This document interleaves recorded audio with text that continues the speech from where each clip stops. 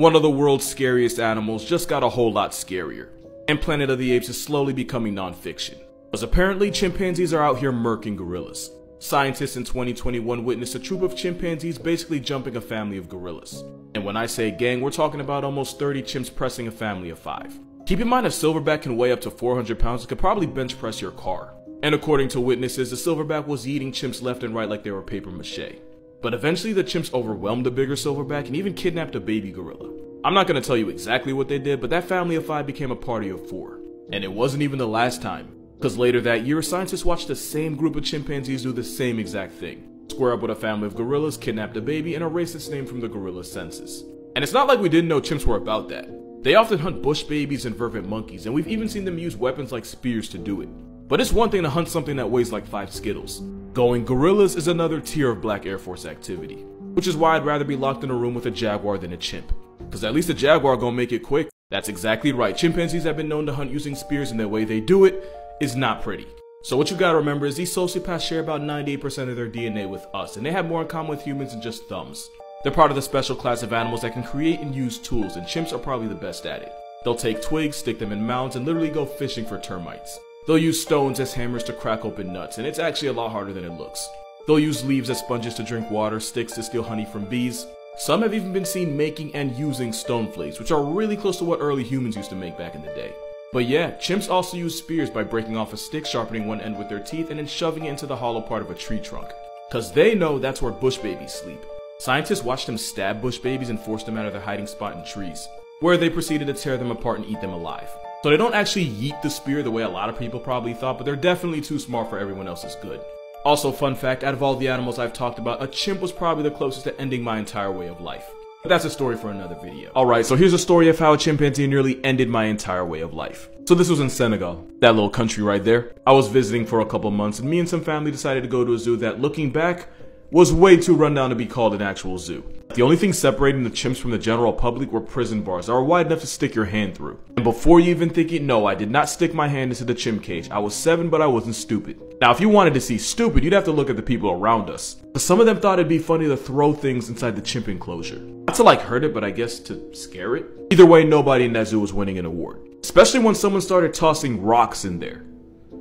Yeah, let the stupidity marinate. I just remember watching the chimpanzee just sit there and take it. Until the people ran out of rocks. It wasn't until the chimpanzee started picking the rocks up that the people realized just what they did. They just gave an animal with thumbs and no regard for anything human ammo. So yeah, as you'd expect, the chimp started fastballing the stones back at the crowd and all we could do was run and take cover. And I vividly remember crouching behind a bench and when I got up, a rock flew past not more than 4 inches past my right eye. I was really just bad luck away from either doing this video with a glass eye or not doing this video at all. Look, you can say size matters all you want, but 4 inches made a difference that day. This picture might look cute, but it's actually one of the most disturbing things you'll ever see. I'm about to tell you one of the most messed up stories you've never heard of. So this guy, Dr. Kellogg, had the question I'm sure all of us have had at least once. What would happen if you raised a human without teaching it a language or having it around any other humans? Like a nature versus nurture kind of thing. It's one thing to think it, it's another to be on CPS's watch list.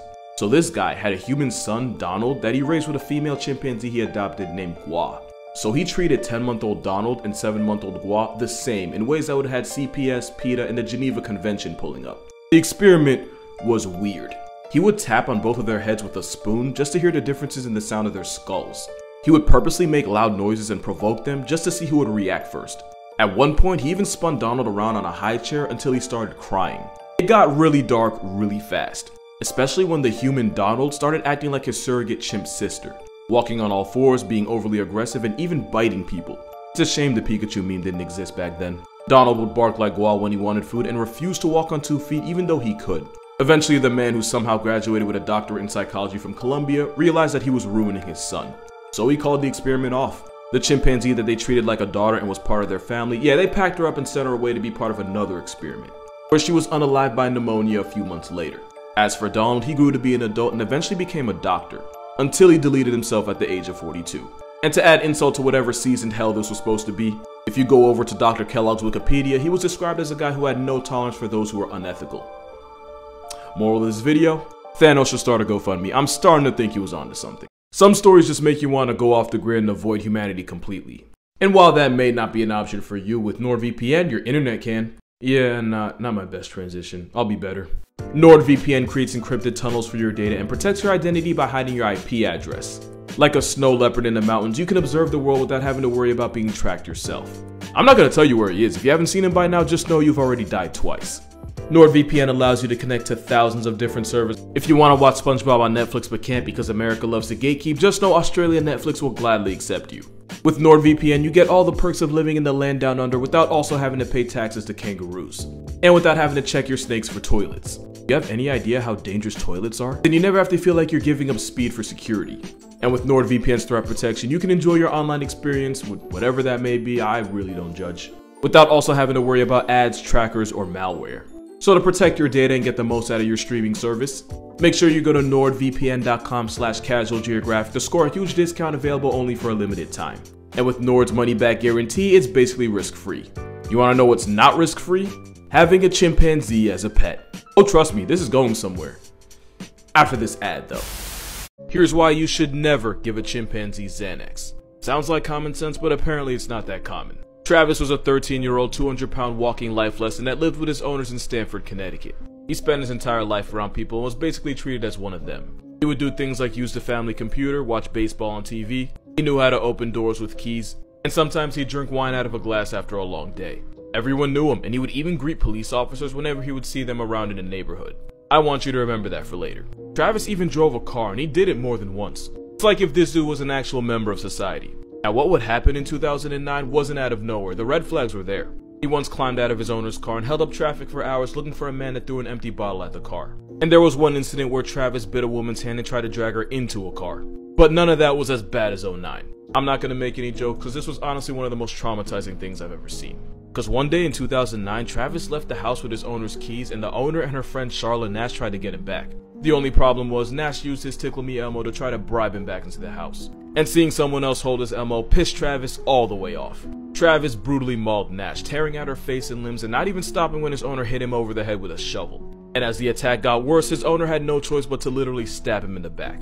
And a literal butcher knife to the back only made Travis angrier. Eventually, police were called. Yeah, the same police from earlier. It took multiple bullets just to get Travis to stand down. Travis limped back to the house, went to his cage, and passed away. The victim survived the attack, but Travis had ripped over 90% of her face off, like lips, eyes, nose, they were all gone.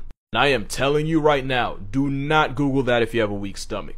Those pictures personally me up for days when I first saw it.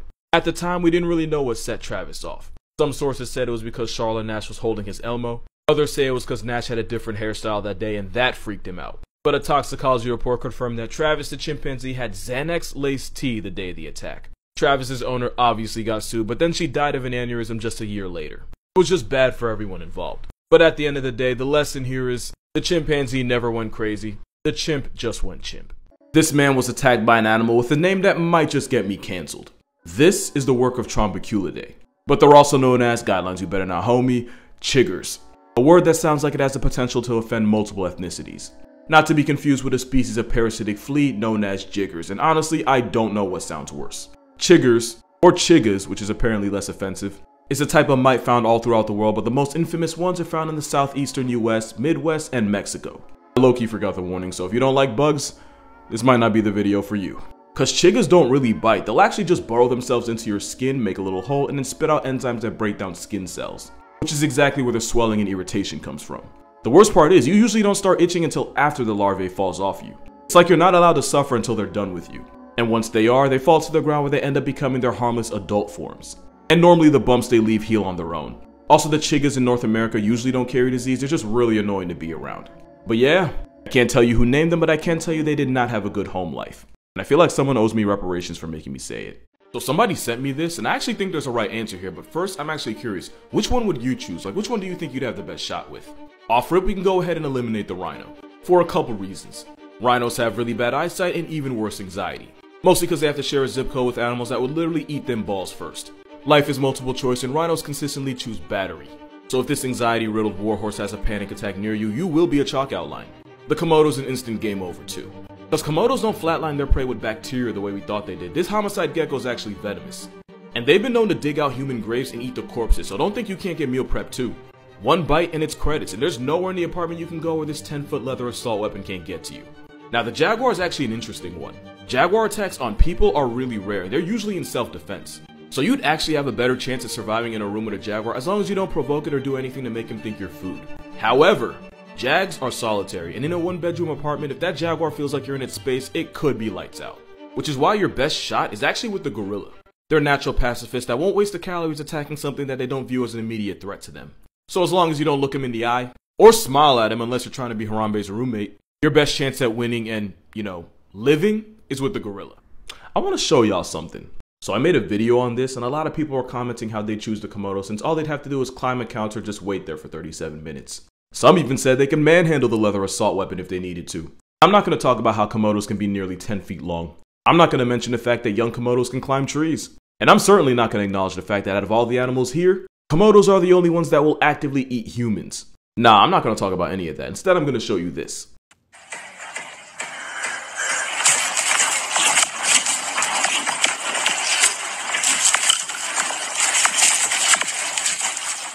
No further comment.